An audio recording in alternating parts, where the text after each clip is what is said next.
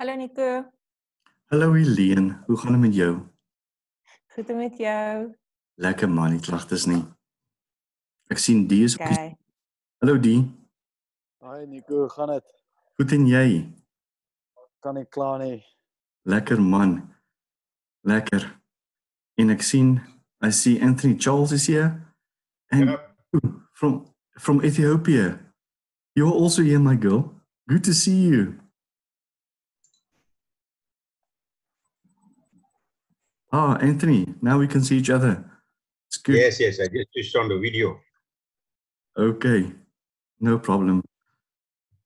Just want to wait a, a minute or so. We're starting at one o'clock. So. Inko, how are you doing? Sorry, No, no. I'm speaking to Inko actually. Hey Lisa. Hello, Inku. How are you doing? Are you good? I'm good. I'm good. How are Oh, you doing? fantastic. How's everybody doing there? Fantastic. Good. I will I will start with the um the webinar now. Okay. I want to thank everybody. Just want to see that it is recorded. Yes. I want to thank everybody for attending. Um, I see John Patrick has has just um, come on board as well, and I'm going to to start with why we are we're actually here. So if we are looking at at Isolytics, I just want to uh, to welcome everyone. Firstly, Se- secondly, the the guidelines is please mute your microphone. Um, I can do it, but uh, I it is much much easier if you are doing it. Um, keep your your video on if you want to. Uh, it is actually better to have it off um, that we can can have a better video stream for all the attendees. Um, hopefully, the, this presentation will about will take about 15 minutes. So we are planning to be finished within 50, 15 minutes. Questions, please. Um, we have got at the bottom of Zoom there is a chat area. Please log your questions there. Helene will be monitoring that, and then in the last 10 minutes of the hour, we will we will start um, to answer all the questions. So please keep your questions till we are finished, and and then we can address it. The webinar um, shall be recorded, and it will be available in video and podcast, and shall be made available after this webinar. Um, just want to give you quickly the table of contents. You can see there's a big table of contents, but we are we are actually only addressing um, the ones that is that, that is in bold. So it is Risk Crest Advisor Africa, what is Isolytics, and uh, the I- Isolytics where are uh, the revenue streams, the system structure, and the benefits, and then we will go over to the questions. All the others, sorry, sorry to bother. Would you just mind sharing your screen, please? thank you. Thanks. Thank you, thank you. Um, okay, that's a good one. Thank you, Carlene. Hi. Um, okay, so um, this is what, what we are, are going to be addressing, and you will see that the, the, uh, the Isolytic system has been developed for actually a GRC system, uh, a GRC and A system. The A stands for, um, sorry, GRC s- stands for governance, risk, compliance, and assurance. So we are actually building, we have actually built the system for an assurance system. And then we are speaking about the Bowtie. Bowtie is a fantastic um, risk analysis system. Checklist um, is also part of the risk methodology. The mobile system, I'm not going to go into, into this in detail, but, but we've got a mobile system that is actually um, implemented at the moment between Dar es Salaam and, and certain, certain um, delivery, delivery areas um, in Tanzania. Um, yes, in Tanzania. And then we've got the I square mass. I square mass is actually an, an abbreviation for um, in incident and investigation management administration system. So this is where you're logging your incidents, do your investigations, whether it is a discipline investigation, whether it is a criminal investigation, or whether it is um, a root cause analysis investigation that you are doing. Surveys.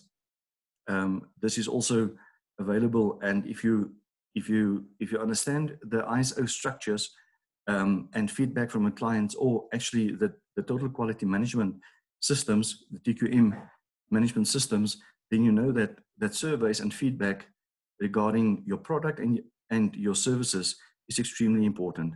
And then we we've got um, Isolytics compliance that is actually working with legal legal compliance. It's also working with um, we can populate every um, service level agreement and all the, the, the deliverables that you've got there that you can actually manage and monitor um, the service level agreement and also determine what is the maturity of, of um, the system itself.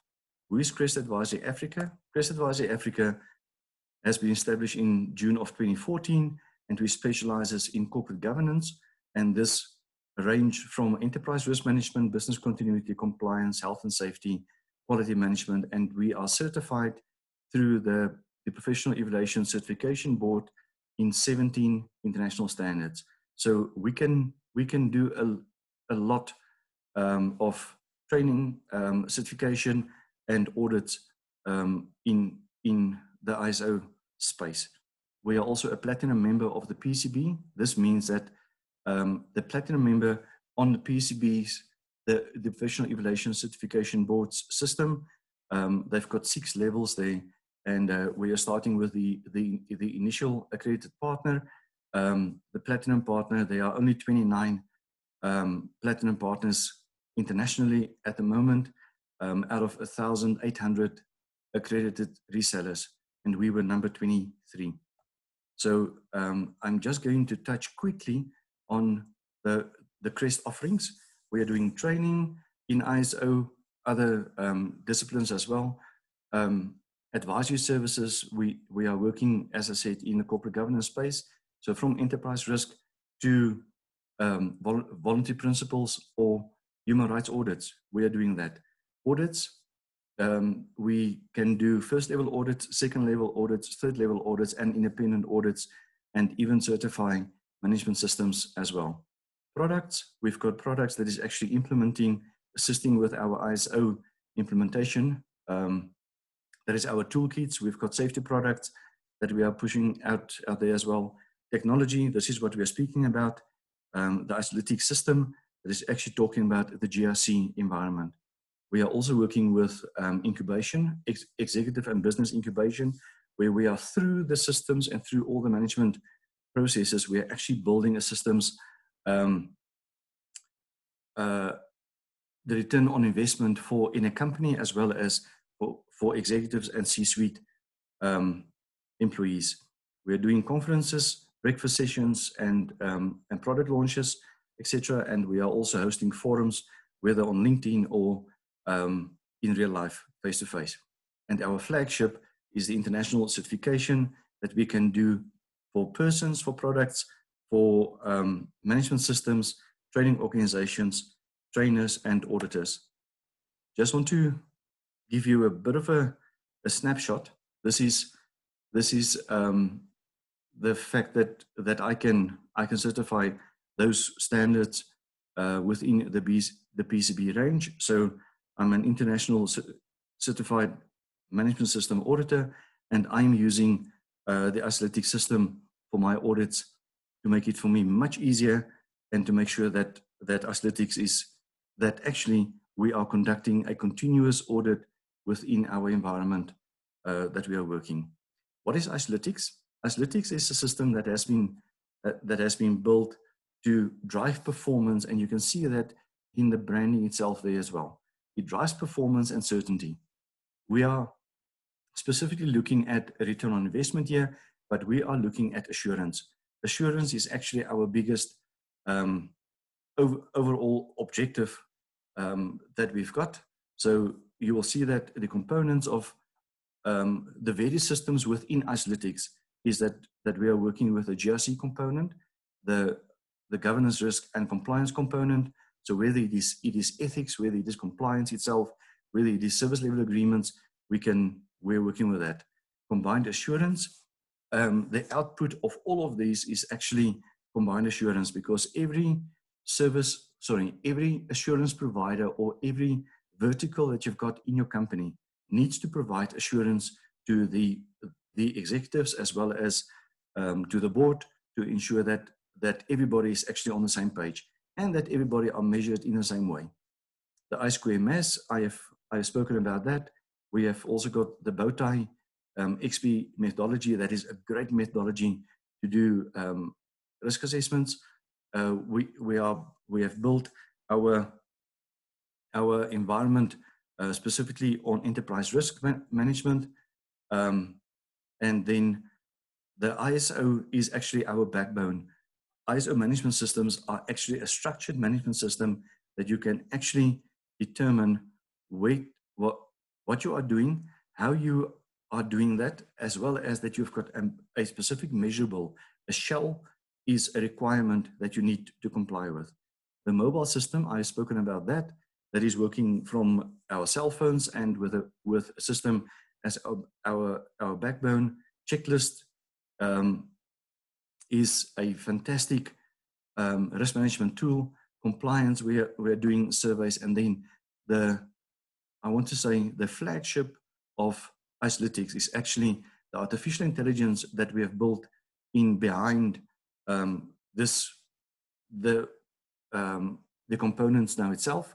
And um, this can also be taken further to work with big data and, and distill that into, into smaller components that you can actually measure a specific deliverable, a specific product line, a specific um, process, etc. And that is part and parcel also of machine learning. Machine learning is actually um, uh, an outcome of artificial intelligence. And the more data one is getting, um, like in banks and in governance structures, the cleverer the machine can be calibrated to make sure that your results um, are more valid and that you can actually present it to the board. So what is Isolytics? Isolytics has been established, um, we've been working, sorry, Crest Advisory Africa is um, the owner of um, Isolytics, but we, we are in partnership with one of the universities in South Africa that is assisting us with the building uh, and the configuration of the management system.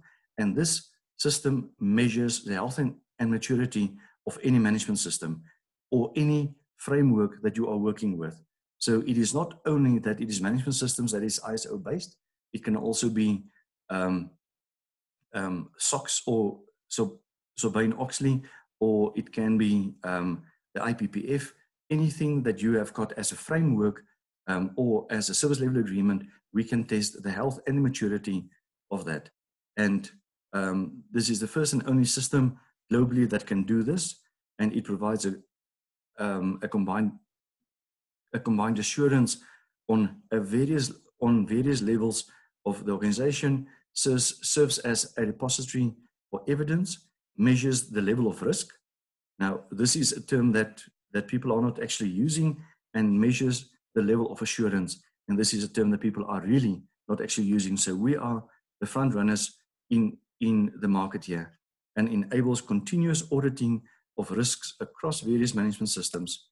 Now, the key characteristics of um, Isolytics is firstly that um, it has got the ability with a single sign on for users to actually interact with, with all the modules of the software. Uh, the ability to, to grant role-based permissions for escalations and notifications, whether it is, it is normal notifications or um, push notifications. Security and segregation of information for different users, giving input and information, the ability to store sensitive data in country, very important because we are, we are working within uh, the guidelines of the GDPR, also ISO 27701, that we um, are one of the leading parties in, in that environment. The ability for reporting and extracting of information uh, manually in either PDF, Excel, um, or Word, um, and you can use that in your reports. API capability, very important one, to feed other systems as well as to obtain information from other systems. Then the ability to pull in and transform data from other systems, visualization through dynamic dashboarding that, that I will show you, And this can be designed in terms of, of your client's requirements. And then we've got a, modu- a modular approach to ensure interconnectivity between all the modules.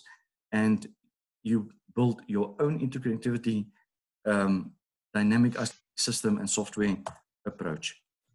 If we are looking at at the methodology that we are using, it is actually the PDCA. The PDCA methodology um, is, is a very important methodology because it is actually giving you the integrated management system that all the, the management systems globally are actually working, working with since about um, 2009, 2010, and every ISO is designed in, in, the same, in the same manner.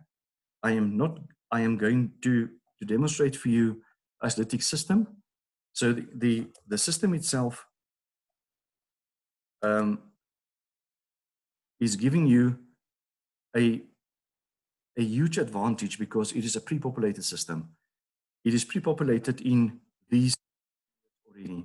From ISO 18788, 22301, 31000, 13485, that is medical devices, um, 14001, that's, that's um, environment management system, uh, compliance management system, 19600, food management, up till um, ISO 9001. And we are busy loading, I think, five or six um, more standards, as well as three or four more frameworks. So if you look at, look at this, you have got, we have chosen here four um, standards that you can see that, that, that there is a combined approach in actually looking at every discipline that you are working with, whether it is um, 18788 that is specifically working with security environment, whether it is ISO 31000 that is working with enterprise risk, whether it is occupational health and safety, um, or whether it is business continuity. And you can go on and you can you can have six to six to nine systems that you are actually working here here with.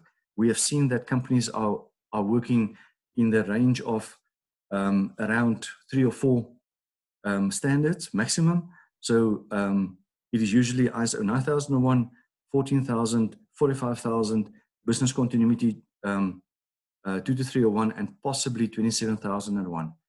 So, so, so this is your, your integrated um, dashboard you've got all four standards. This can be in, incorporated into, into a higher level dashboard as well that you can see how is how how is every um, standard incorporated with with each of the others and so if you are looking at at the system itself it has been developed firstly to be aligned with a management standard or a management system now um, this is we we are looking at 18788 18788 um, the context leadership planning support all of those are actually fairly the same in all the standards. So if you're looking at at um, at the context, context is actually clause four within ISO uh, within any ISO. Leadership is clause five, planning is clause six, support is clause seven, operations. This is where the differences is coming in per discipline or management system. That is clause eight. Nine is performance. That has to do with um, monitoring, measurement, analysis, and evaluation uh, internal audit and management review, and then um, improvement. We are speaking about improvement here that, that has to do with the corrective actions that has been identified through any of the processes. And then our last integrated um, system um, icon there is actually where we've got um, the ISQMS in it, where we've got our checklist, we've got the surveys, the bow tie, and the mobile system is also part of part of this. Just want to give you a, a quick um, overview. If you're looking at if you're looking at at any of of these these these systems, you you will see that that the, the internal context internal context is actually describing your company's objectives, your company's strategy, business mission, value, ethos, um, culture, your business unit strategy, etc. And that can be found within the standard but if it's a risk-based thinking um, met- methodology, you have to look at ISO um, 73 um, of, of 2009 because that gives you a whole spectrum of, um, of deliverables that you need to actually look for in your company, firstly, but secondly, that you need to um, to measure. Now, if you look at at at all of these on the left hand side with your description, you can change it at any any time with this pencil on the right hand side. If I go to compliance, so we've got different measurables. I just want to explain to you quickly what this is. Compliance, firstly, we can toggle this or decide, are we, do we have objectives or not? That, that within um, this space, the graph space, that you will see that it is changing immediately. Um, I just want to, to take it back there. Then if you're looking at ice and dam, ice and dam has to do with um, the ice is the internal control effectiveness. This is how strong is your control that you've got. As well as dam is your document um, assurance matrix. Do you have a document that you can actually determine do you have objectives or not and can you prove it? Because it is all to do with evidence-based um, um, processes. Without evidence, you, you, you are not scoring any, anything there. Your level of assurance, level of assurance is actually a combination of these two, of your ice and your dam. And this is, this is configured at the back of the, at the back end of the system with our artificial intelligence. And that also gives you the balance of the level of risk. And then it is um, documented in, in, a, um, in a risk matrix that is a very mature risk matrix. And then we are actually bringing in as well the non-conformances that a system is actually that is actually based on this the certification system um, that we are working with and out of this we can we, um, we we have got a score there or, or a weight there that we are um, providing as well and then your cam is your combined assurance um, model that is that is identifying who is your assurance providers and on which level are they. You can see there, there's a one, a five, a six, a three, and a four. I will go into detail. And this is also weighted. And then you've got the evidence that, that you can up, upload in this blue um, circle. You've got your evidence storage in your square, and you've got, you've got action steps that you can project management, what needs to be done on your objectives. So if I go through, just want to, to for you to actually look at your level of assurance. Now, the level of assurance at the moment with 40-40, as well as with a, with a minus 25 and a plus 25 there, it, those two are, are actually canceling it out. So you, you're getting here a 38 um, percent of level of assurance. Now, if you, if you are changing that and you say that it's 80%, you will see that, that the, the level of assurance is changing now as well to 56. And your level of risk is changing um, to 44 on your document assurance matrix, you will now, now that it is 80%, you should definitely have a document. Let's, let's go. Now, if you look at, at this process here, this is actually described in IS, uh, um, in the standards in, in clause 7.5.3 that you are looking at specifically um, that there's a document that it has been approved on, on the 100%, it is on the documentary system, and all relevant people have immediate access to it where they are working and everyone, everyone has been trained um, in this and there is evidence in this regard. Now, if you look at this and you are working it backwards to that it is not relevant, uh, not applicable or no document in existence, etc., then let's choose 60% and you will see that the level of assurance is changing now to 66 and the level of risk to 34. Now, this is where enterprise risk management is coming in, where you are actually having all these deliverables or descriptions that is actually in the standard that is now plotted on an enterprise risk management matrix. Now, we are working with, um, with the first requirement.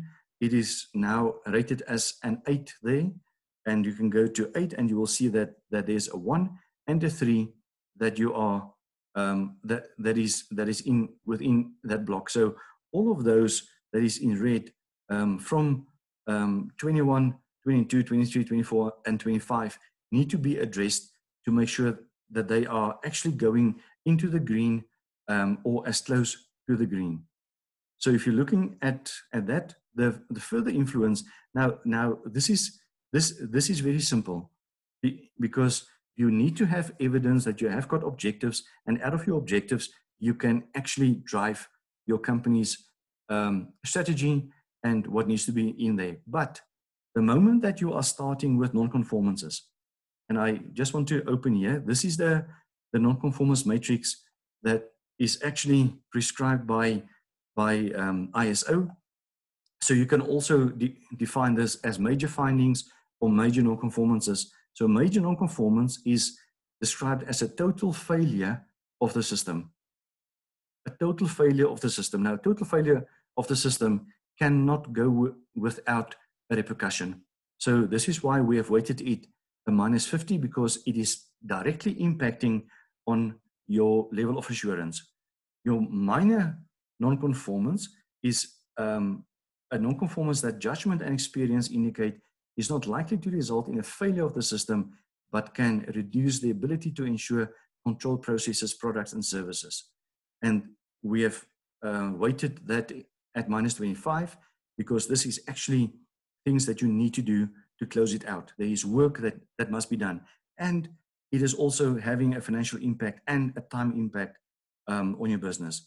Then if we are looking further um, at observations, observations is a, is a proactive process um, that you are actually preventing a non-conformance, a minor non-conformance, and this is why we've weighted it a, a plus 10 opportunity for improvement, a plus 20, and then not, not applicable or out of scope, that is a zero and, and acceptable.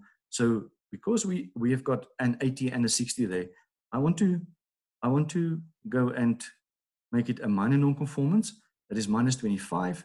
And if we go over to the combined assurance matrix, you will see there that we've got six levels of combined assurance. Firstly, it is the line function.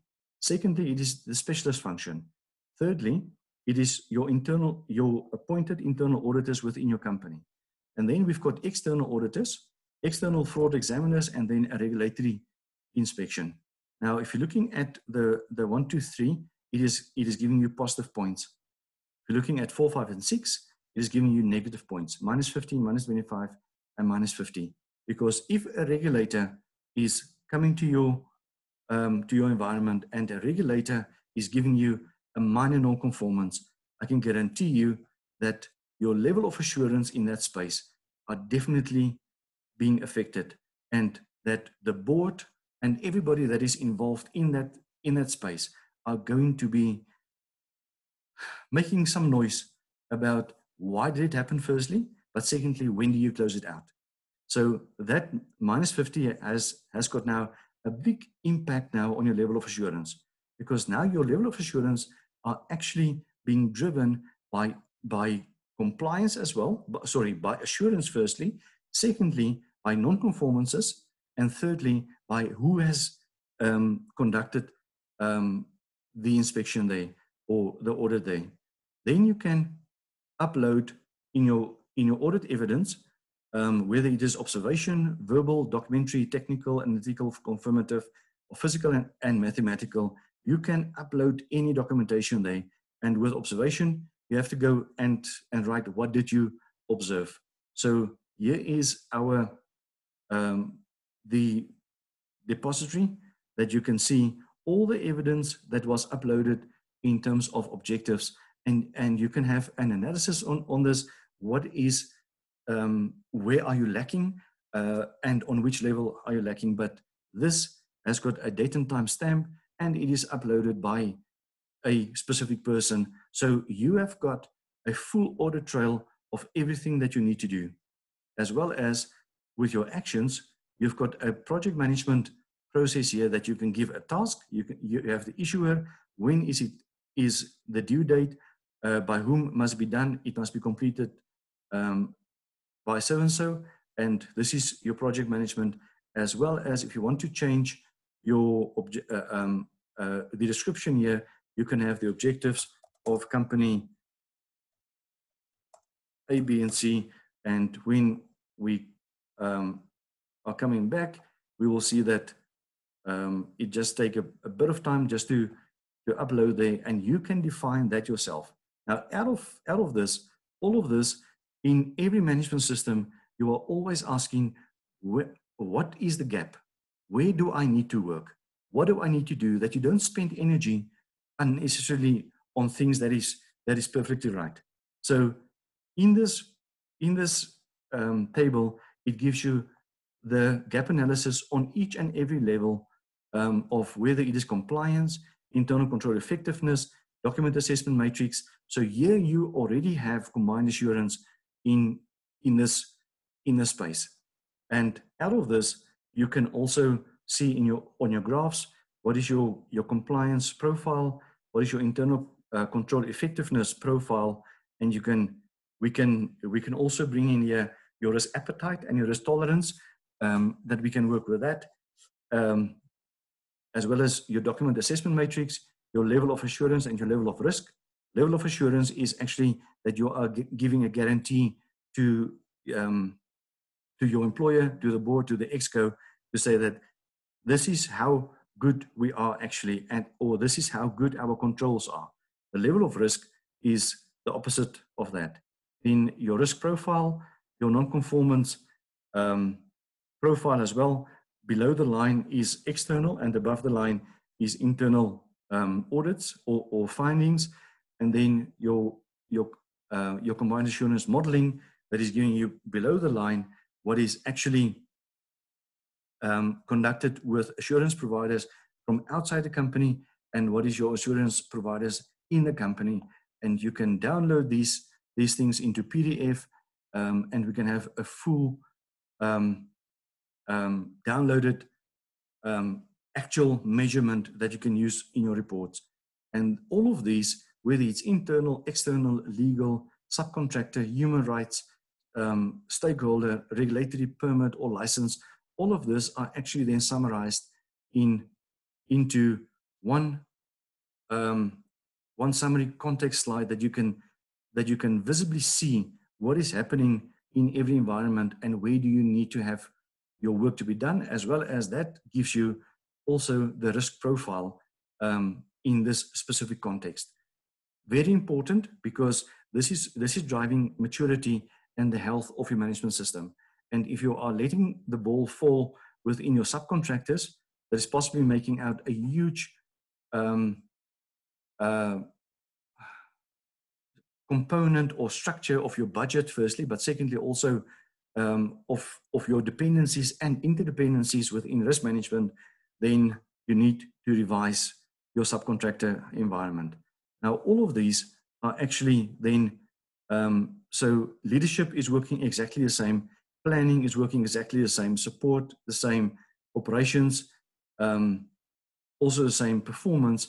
What we have done here with performance is we have actually allocated um, specific sections to monitoring. Monitoring is a is a specific task that you need to have in a management system because you need to monitor whether your lights are on. Somebody needs to go and check it.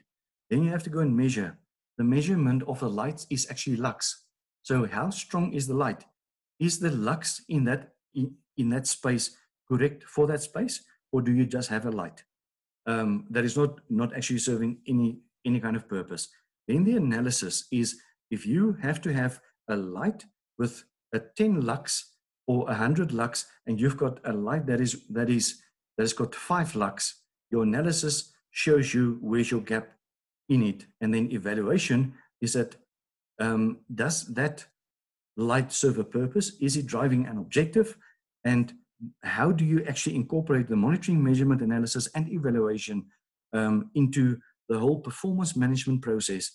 And then you can also conduct exercising and testing. Exercising and testing is very dominant um, in ISO 9001, in ISO 13485, in ISO 22301, in 27,001 and the whole family of 27 that is actually working with information management systems. Um, so testing and exercising as well as health and safety, because this is where you are doing evacuation exercises to see do people conform firstly, do they adhere to the process and how quickly can, can, you, can you evacuate within um, if there's a fire in the building. And what we have further done here is that we have built in for enterprise risk management a specific environment where you are looking at your strategic objectives in a strategic risk register. Now, this can be populated uh, by yourself. So, so we can we can have the a key risk indicator or another key risk indicator um, to say that um, KRI number two is financial um, well-being or or something. It it depends, and it is also doing spell checking for you as well. That's nice of the system. So it is changed there, and when we when when we get back, it will also be changed there. So in the same in the same way that you are doing everything else, this is actually um, uh, also uh, being being measured in the same way, and you can measure it on every level of your organization, whether it is on a, in a strategic environment, whether it is with a board and the executives, whether it is at a departmental risk register or objectives, whether it is operational risk registers and objectives, and we can include here um, uh, quality. We can include here also um, compliance. Um, so anything that you that you need to need to have there, as well as uh, in your operations, we can do the same thing with your service level agreements to make sure that operations are actually actually executed within the ambit of the service level agreement. Firstly, but secondly, that you have got um, the performance that you are driving and that you are recording those performances through your monitoring, measurement, analysis, and evaluation process. Um, improvement, the same, and then our integrated management systems. What we are doing here is, is that um, if you're looking at the ISquareMass, we have built the ISquareMass um, in, um, to do with incidents and investigation management systems um, or incidents, specifically with the purpose to actually draw reports, draw management reports, because you want to know what is the day of the week that incidents are happening. Um, this is maybe on Sundays. What is the date in a month that you've got the most incident or the least? What is the, the time of the day? And, and we've got, I want to say fancy things here that, that you don't have to go and type in there. Um, you, you've got the street address, a suburb, a suburb analysis, a provincial analysis, a zip code analysis, and if you if you if you, if you want to to drill in granularly, you can either go and search or you or you can can go and just plot it there and say, but ah, actually, it is not there. It should be there, and you've got a 19 level um, uh, Latin longs that gives you precise precise plotting um, if you if you are drawing a report. The description is is usually simple. What what we have done here uh, with the type of incident, we have actually taken the management systems, whether it is security, occupational health and safety, risk information management, that the incident is actually allocated to the specific management system, and that you are not sitting with a whole bunch of these um, incidents, and you and you need to actually go and sift it um, at the end of the month. So Let's go for risk management. So risk management, uh, the categories we can change at any time according to your own environment. So what we've got here is strategic risk, operational risk, marketing and sales risk, information, etc. So if you're looking at, let's, let's go for operational risk, then you will see that, uh, that a third level down, you've got product liability, you've got product failure, this is risk quality management, um, etc., maintenance, etc. So everything that you need to have there, and then your description is in free text, um, and then what is usually not in other systems is um, your your mitigation processes. What is your your immediate corrections? So if the light is off, what do you do? If it needs to be on, you switch it on. That is your immediate correction there. The impact of this is then actually measured on five levels. Now we've got a formula that is that is working um, that we are working with um, in Crest Advisory Africa um, that we are calling the P square S T square modeling for control management. So P square is people and processes. S is your system controls, and then T square are your tools and your technology controls. Now with a company, we can um, we can either have a drop down list that we can we can choose or select, or we can we can say uh, that we've got a secretary secretary there, and the effectiveness of the secretary um, was 40% because the incident happened in the CEO's office, or you can you can make that a PA, and that PA is costing the company 30,000 rand. And now every everything of these are actually going into what is the loss category? Is it a financial loss? Is the people, and this is aligned specifically with your consequence matrix, that we can actually cost that. And so you can you can do the same with each and every one of these um, controls, and you can list two, three, four. It doesn't matter. Um, this is aligned with your internal control effectiveness and your costing then as well. And then it gives you an internal control effectiveness rating of an eight. Your level of risk is a 92, and your um, your residual risk rating that you are going to plot on your your risk matrix is going to be a 24. And then you've got a cost of controls versus the value of the risk. And let's say the value was 50,000, um, then you can have an immediate um, uh, calculation there to identify that that the risk is actually more than than the controls. But if you are starting to actually calculate all the controls that you've got there on processes, as well as on systems, um, let's say that is also 10,000, then you can actually see that all of these are starting to be um, starting to be very closer to the loss. And even if it's if it's over the loss, you will see that that it is going into a minus. So this is your impact analysis. Then your your conclusion is actually a root cause analysis. Now the root cause analysis is what what we will address in the bow tie um, that that we can address there. And your action plan is actually that, that is a requirement by the decertification body to say that you need to, to provide root cause analysis to prevent the, the same um, incident from happening again. And then secondly, your action plan must actually be documented there. And then it has to be signed off on a certain level. Um, and then it is either monitored on a daily, weekly, monthly basis, as well as you can have push not notifications if it goes below or um, above your your tolerance that you can that that we can actually set that. The attachments that is actually included here is that you can have any kind of attachment whether it is it is um, it is a report whether it is a photo whether it is a sound um, a sound bite whether it is a voice note on whatsapp every everything that you can have as an attachment can be attached there. So this is the um, the ISQMS and then the checklist. The checklist is, is actually, I'm not going to go through the whole thing because it is going to take a, a bit of time.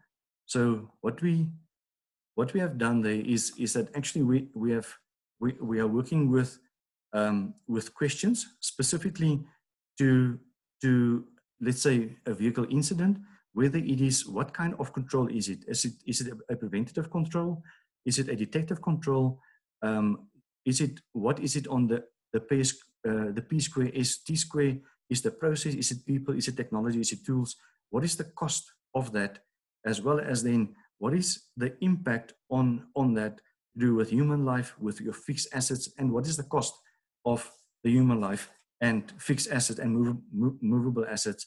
And every one of these can then be be assessed in a in in a, in a specific environment and you can see here this is the um, this is the the vehicle um, checklist that uh, all sorry all all the checklists that we have done. So it gives you the date and time of capture. It gives you a level of assurance a level of risk the internal control effectiveness and a risk matrix that it is plotted on. The insured value um, is also uh, documented the moment that you as the client are actually documenting that. And now you can actually determine, am I underinsured, underinsured, or am I overinsured? What is the cost of my controls? Can I actually spend more money or less money? Or must I actually uh, revisit my controls there? And what is the percentage value between the insured value and, and the cost? So it is a fairly advanced system that you've got to your um, that is available to you. And all of these are then rolled up into, um, into a graphical overview of the health of the system itself. Now you can see here what is your wagon wheel. So from, from context, clause four, leadership five, you can see that we did not work on those um, actually, but you can see specifically that your wagon wheel is not mature. You need to be as close as close to, to one and two and three to actually understand that you have got assurance that your performance, your operations, your support, your, your planning is working in that specific environment. So this is this is what we um, what what we have got within our within our system, and I, I can I can spend more time there. I don't want to do it now at the moment. This is about the value added reseller. Um, so what is the revenue streams that we have that we have got there for you? So firstly, um, can I just confirm that you can see my my slide? Caroline, can you can you just do that? Or Elaine? Yes, Nico, yes, we can see your slide. Everything's fine. Thank you very much. Okay, so value added reseller. What what are we doing? What is what what is our objective here? We have got a system that we want to to put out for consultants. I, I've been a consultant for, for the last 10 years, if not longer.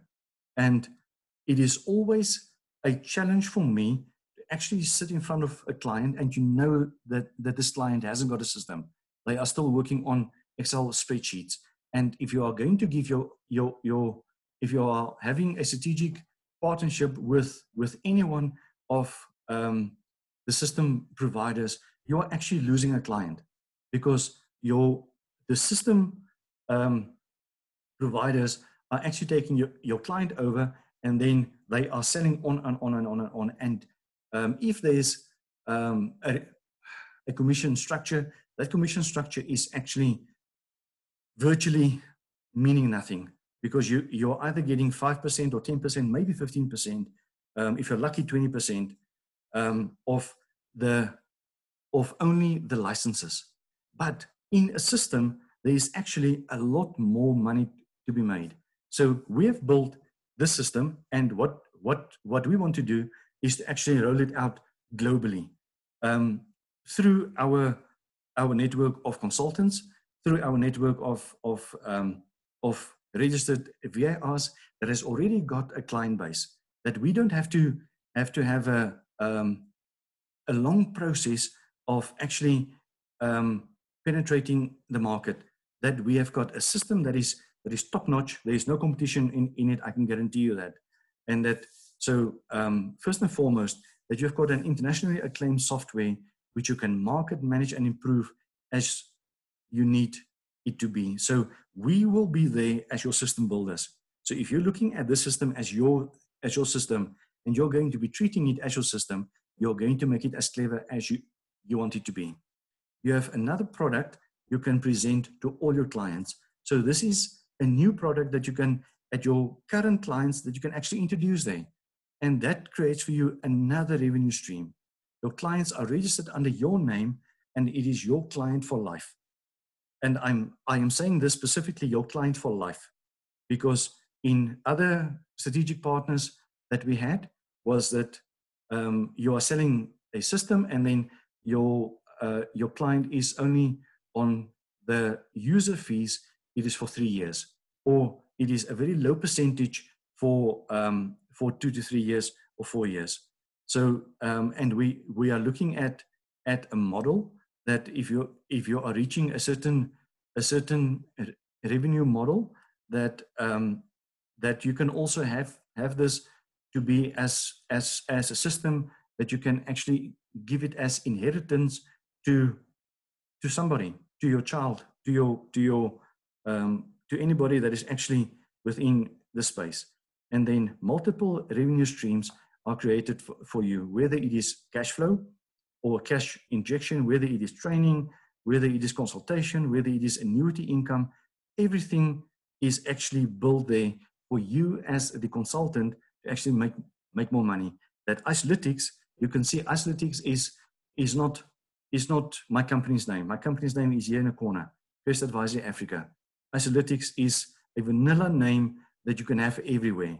And we are, as Crest Advisory, are, I want to say, so proud of the system um, and with and with our um, support structures with the university um, and and with and with us investing in the university for our our um, research and development that we we will always make sure that the system is the best that you can get. It will not get old. So the revenue streams unpacked. So what, what I've what I've got here is firstly, if you are selling a system, your system selling price um, is one component, and you can see here, here is one, two, three, four, five, six, seven components that that you can make make make money with. That is actually part and parcel of your revenue stream. So firstly, putting a system down, you are getting 30% and we and we as the system owners are getting 30%. So all the um, the first numbers that you will see is actually what the value added reseller is getting. And the second number um, or percentage scale is what, what we as the owners are getting. Modulus. So if you are selling the system, we've got a basic system. I'll explain it uh, just afterwards. We, we, we've got a basic system. Then we've got modules that we are actually like um, the bow tie, the ISquareMass, the surveys, because not every company uh, wants that. But if you're selling a module, then instead of 30%, then you're getting 40% on that module. Um, if you're looking at your, at your annual user license fee, that is what the AULF stands for. So the license fees of every user, you are getting 50, 50%. Equal square, uh, an equal share on everything there. Then your annual system maintenance fee. Your system maintenance fee is actually 20% of your system fee, always. Um, that is annually. So you are getting there a 30% um, um, versus a 70% for Crest. Then if you're talking about um, your the configuration cost, your system configuration and implementation cost, this is where you are spending time with your client. You are sitting there face to face with your client where we have actually trained you to actually ask the correct questions within our, our, um, our mandate, firstly, but secondly, within our scope of the system. And you are going through a selection of questions. It is your FaceTime. It is not my FaceTime. So it is your money that, that you are, uh, your time that you are spending. So that is your money. So 70% is yours. 30% is for us to configure the system to what you, you wanted to have. Um, and that is the whole process from the opening until the user acceptance test. Training is actually what, what we are making sure that our, our license fee, license um, users are having training that they are being trained in each and every level that they are going to be, whether they are a super user, whether they are an administrator, or if they are just an input user or um, so, so that that training is very important and this is where you are procuring the intellectual property from Crest Advisory Africa um, and actually selling it for the 80% um, that that that is within our our revenue structure. So 80% is going to you, and then to make sure that we are not losing contact with our clients, we've got an annual maintenance fee and CPD points, the, the continual professional development points, that is also going to you 80% and 20% because you need to go and retrain those people annually. And that is where it is so critical um, because you are keeping the contact with your client. The, the, the system is just an enabler to make sure that your financial objective on the right hand side um, is actually um, um, achieved and that, that you've got a system in that space. I just want to go to um, the, the financial model quickly that you can actually see what, what is the, the, the pricing um, for this. So if you, if you look at if you look at this, you will see that I'm going to address it in US dollars. So the platform cost, this, this was the first cost there, and that includes all of these, these things here, is costing um, 20,000 US dollars. Um, and that is a once off. Uh, the description on your on the modules, the initial module that you that you are buying for the the Isolytics Lite uh, will include the platform cost as well as three uh, access to three standards, and this is where where you are actually calculating each and every one of the the um, the modules in, into the costing model. And then your annual user license fees. This is the license fees for the users, and you can see it is not um, out of the ballpark. It is it is very balanced with other systems. The annual maintenance fee. Um, this is the 20% of um, the product cost, and then your solution configuration and implementation, the SCI cost. This is where you are sitting face to face and you are actually configuring or, or completing a questionnaire and you are configuring that system to be aligned with what your client wants. And that is all your cost. Um, as I said, 80 20 or 70 30.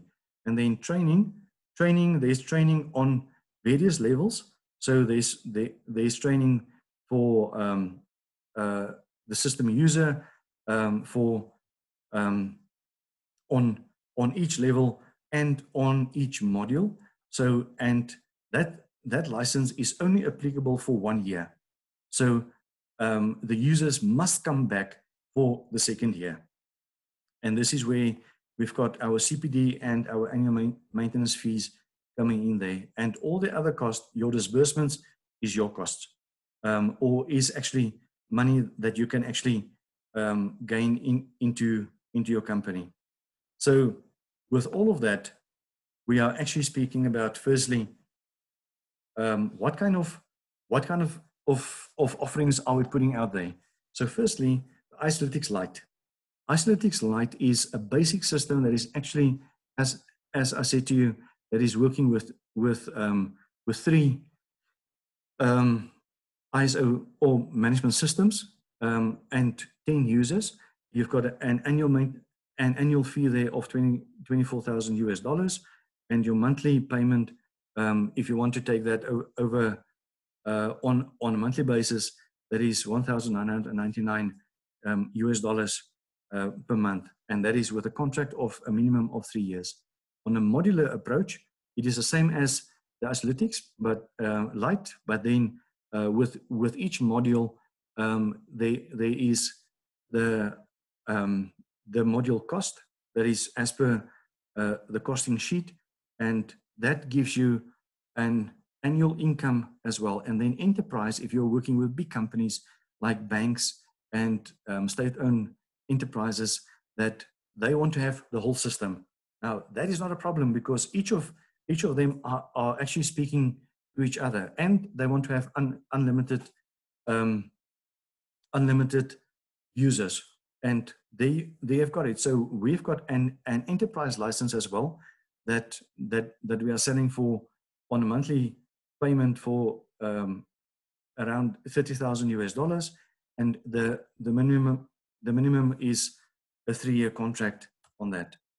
So how to be a VAR a value added reseller. And actually the value added reseller is is just an, an, an abbreviation or a name, you will be the owner of the system. So firstly, uh, we've got a VAR application form. So if you are interested, please let, let us know um, the people that has contacted you, whether it is myself, Helene, Carleen, Louis, um, we will send you the application form.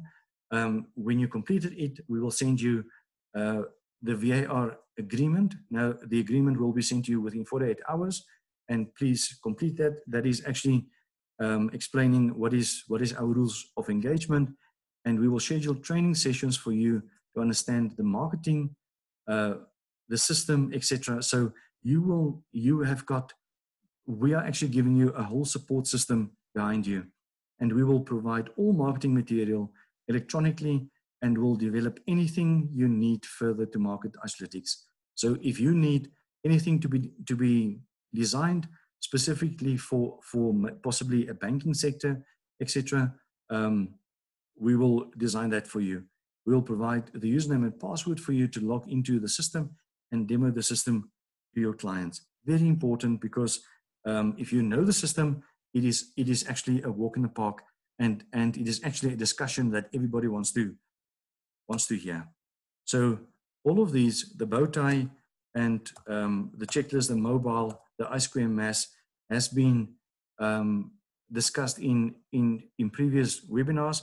I don't want to to take too much time of today because we are um, running out of time. And then membership and endorsements. PECB is our most important one because we are global. Um, this system will also be in the next um, 10, 15 days.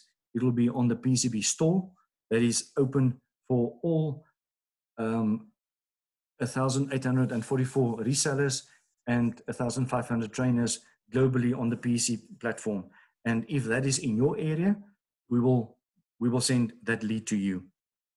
Um, and then this is just testimonials from the Financial Intelligence Center that we will um, give to you as well from De Beers, Head of Compliance and Assurance, and then from the PECB itself.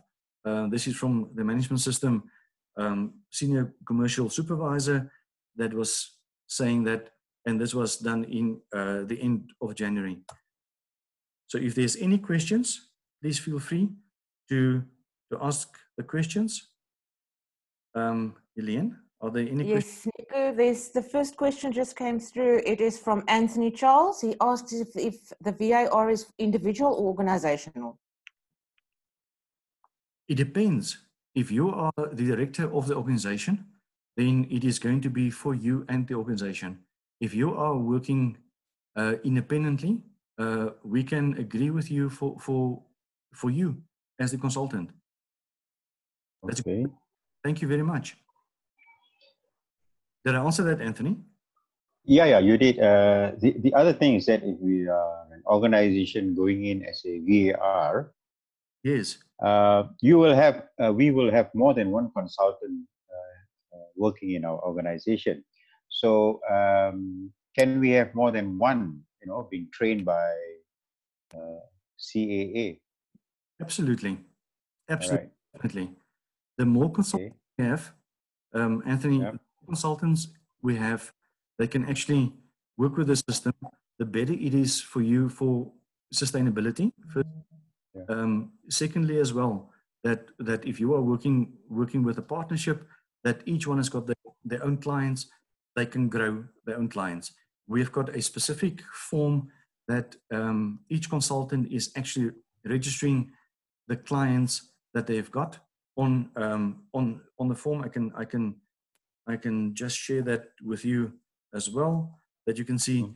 So we have we have we have got this this form here that is actually saying that these are our athletics where our client Okay. registration form. So this is your record of your contractual agreement with us. So we are Okay. we cannot take this away from you. Not not from the contract. If no breach, this client will always be yours because it is registered on our system as well as if you've got um, another company that is that is actually um, approaching your client that we can say uh, we have to protect Anthony first. Anthony is is the person that is working there, so there, there is no no duplication, no overlap on this. And uh, the other question will be, uh, see, I, I'm from Malaysia. I'm not sure whether you know where this country is. Hi, I was there. Yeah. Oh, okay. So somewhere nearby uh, Singapore, you know, we are Yes. sandwiched between Thailand and Singapore. So uh, if, if we become a VAR, uh, my question would be, would there be other VAR appointed as well in my country? It depends on how how Would there be more than one VAR in a, in a country? example? yes yes yes a country is for one one VAR. Um, I, I can I can explain to you, Anthony, that that um, we have got a we have got as Crest Advisor Africa we, we have got a footprint um, from from Japan, uh, Australia, um, Singapore, Malaysia, India, um, Europe, as well as in, in, in the Americas. We are, we are also licensed by the PECB um, to conduct work in Africa, the Middle East, Pacific, um, and Asia, and Europe. And we are busy at the moment with the Americas. So, So uh, yeah, sorry. So there can be more than one VAR for Isolytics in Malaysia, right? yes, All right. Yes. So there is there is no limits, no, there's no limits. unlimited VAR. That's correct. Yes, but um, but what you also have to remember, so we will register your clients under your name. So Alright. if if you have registered, whether they have bought it or not, and you are you are at this stage working with them, nobody else will be able to to go to that client or take that client from you. Yes. Okay. You will be registered as the as the VAR for that specific client. All right. That's correct. Two more two more questions. That's fantastic. Um, I think go for it. I love it. Um, uh, I, I I look at the uh, benefits of having this system, yes. and I also look at it uh, from your experience since the time you initiated ISO uh, Isolytics. Mhm. Have there been any uh, small and medium enterprises who have actually uh, implemented Isolytics? Yes, yes, we, we, we have got so small and medium enterprises. What what um, if they can if they can afford it, and um, if it's it depends on on how do you define small and medium enterprises, because it, it can be either thirty people or three hundred people in, in Yes. So um, um, if there is, if they can can afford the license fees, then that is that is very easy. Smaller the enterprise is, actually, the easier uh, it is for the system to be implemented. Really, to be honest with you, Okay. because there is Are there? Sorry. okay. Are there any other players? Are there any other players in the region of uh, uh, Singapore, Malaysia, Thailand? No, Oh, okay. Not yet. I know that. Not yet. I know that. That's a good not one. yet. We're waiting for Okay. you, Anthony. Yeah. No. that. The, the the the reason why I'm asking this is um, I've been with PECB for quite some time, That's and I'm also like I'm also a license holder for two uh, US uh, providers, no- uh, not in, uh, in systems. yes. So we normally cover a certain region. We normally cover a certain region based Yes. on the performance, right? That's correct on performance. Yeah. So um, that, that is what I'm looking at. And uh, the, the product is interesting. Uh, I do understand where you're coming from, uh, how the system has been developed. Probably I need to understand a little bit more. No and um, I, I myself have been just like uh, you, Nico, being a consultant for almost 22 years in, uh, in the ISO field. So I do understand the, the problems that organizations are facing. Yes, Uh, probably it's the same problems all over the world. that's it. That's it. yeah. So And yeah. and I, and I think with COVID now, um, it is it is it is going to be actually more uh, more difficult to get certified because people cannot get close to the client. So This is the question that I wanted to ask you. Yes. Um, can this be a tool for remote? You know, Absolutely. remote. Yeah, remote auditing. You know. that's correct, my friend. Everything Yeah. in this, everything in this tool has actually been built for actually for for for the company to audit themselves firstly Yeah. uh, because they are seeing that they are at at a certain maturity level and they've got all Okay. evidence there it is very easy to go into into an audit i just did did an audit um, in february the lady left now um, inku um, we prepared them or, or actually Elaine prepared them for the audit um, since last year of july Elaine and yes. uh, they they had we were doing ISO 18788, but ISO 9000 was um, was audited in January, and because of because of Elaine's input into into the whole system, um, th- they were having they fly, they flew through the whole audit in January uh, with DQS, and they had all the proof. And this is what what we're talking about about this system that is actually giving you a one-stop place. So you can actually have all the evidence uploaded. You can see the evidence. You can actually download it. Have access to everything that you need to have. And, and what we have got with machine learning, eventually with enough documentation, we will actually have, um, with the machine learning, the artificial intelligence to actually read doc the documentation and grade it for you as well.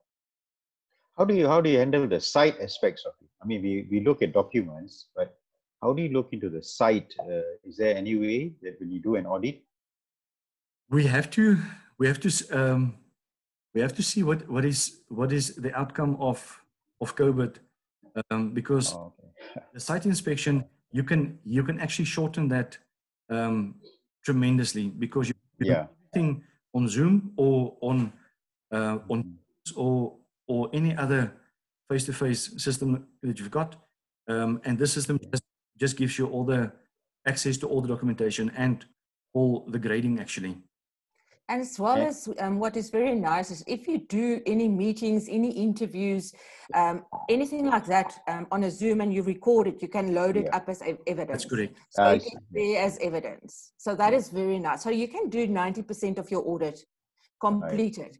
Um, If not more. unfortunately, there will be a, a, an interface where you might have to go to site. Yeah, I, I don't think we at this stage can can get rid of that part. of But course. um, but but 90% of the work will have been done, and that can then be shortened. Okay. And uh, uh, of course, I think I'm probably jumping the gun going into No jump. something extra. Uh, there will be templates of proposals given by you all on how to. Absolutely. Okay. Absolutely. So all the marketing material, um, all the, the proposals, everything um, is documented on our site. So, so if you want to, to have that, it is part of the VAR. And this is why I was saying that if, if, if we can, can, can have um, the VAR process going, we can assist you in every, every, every way with So proposal, the yeah. everything. so the agreement between the VAR will be between the appointed VAR and uh, CAA, or is it with uh, Isolytics, or I mean, how, It how, is- how does the agree? Okay. The um, the company that is owning this is Crest Advisory Africa. So it is Yeah. going with with CAA, but it is for right. the Isolytics. for for marketing purposes, um, uh, would that be where we could uh, actually express to clients that we are the appointed um, Yes. resellers of CAA, and would that allow us? Would that allow us to put your logo on on whatever that we want to do to promote? That's correct. There's- Because because some organizations require approval to put their logo anywhere That's correct. else uh, That's on the correct. website or on the materials, right? That's correct. That is in the Alright. contract. It is it is within the VAR uh, use of the logo, and the moment that we have appointed you, we we will we will also also give you a certificate, just like uh, Okay. The PECB. We give Yeah. you a certificate that is that is actually electronically, and we are appointing you uh, through Crest Advisor Africa to be an Isolytics value-added reseller. Once appointed as a VAR, how long does the training process take place to do this marketing? Uh, it, it is it is maximum a week. A week. Does that require a lot of technical understanding of uh, the ISO analytics? Not actually. If if you um, in which ISO are you working, Anthony? Uh, I'm, I'm more into the 9,000, 14,000, 45,000, 13485, uh, 37,000, those areas. Okay. Yeah. Fantastic. So so if- if if you are if you're looking at at those standards, eighty percent of of all the content, whether it is it is um, your your context, your leadership, your um, Mhm. Planning, etc. Eighty percent of everything is actually the same. It is only operations that is actually changing. Yeah. So, but, but to understand the system, that's what I'm Yes. talking about. Now the system five days. It's good enough, huh? Five Yes, good enough. Good enough. Okay. Good enough for you to to actually be in front of a client and to Okay. the client. All right. But you you have already got the ISO experience. Yes. So, um, that that is that is fantastic. Okay. It's Thank you. actually cutting everything, everything for you. All right. Thank you. Thank you for the for the questions, Anthony. Any All right, other welcome. Okay, you guys just see there's a, um, a request that we do send the recording of the, um, the, the webinar. Um, Jeffrey had a little bit of connectivity problems. He could only join at the end, but I did inform him that we have another webinar on this next Wednesday, um, again, That's same time. Um, but we will send the, the recording of this one in the meantime. hundred percent? And Anthony uh, Yes. from Zimbabwe actually said, thank you, very nice, fantastic presentation. Yep. Okay. Thank you. Thank you very much. you. Thank Yep. you, everybody. Much Yep. appreciated. Welcome. And and Uh, let's let's let's do business. Let's make money. Yep. Yep. That's all. That's what all this is about. Making Absolutely. money. Absolutely. Let's make money for you and let's make money for, for yeah. everybody that is involved. Right. So okay, great. We'll, we'll see you you. again. Definitely. Thank, Yeah. Okay. Thank okay. you. All right. Okay. Thank you very much, everyone. Yes. Bye bye. Bye. Bye. Bye.